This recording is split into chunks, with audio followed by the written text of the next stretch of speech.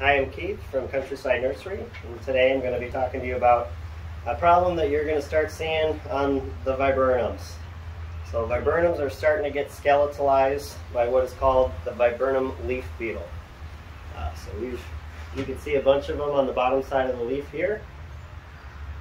And they're going to skeletalize the leaves, so they're going to eat the foliage in between the veins.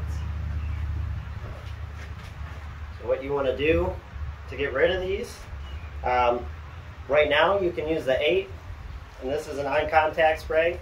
So if you spray this, you're going to need to be hitting them, um, and this will kill them on contact. So you'll see results with this stuff quickly.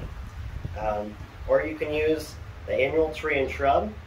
This is a root drench, so this is a concentrate that you'll mix with some water and pour into the roots. Uh, the annual tree and shrub takes about two to three weeks to work its way up into the shrub. Uh, so it will be a few weeks before you start to see results for this.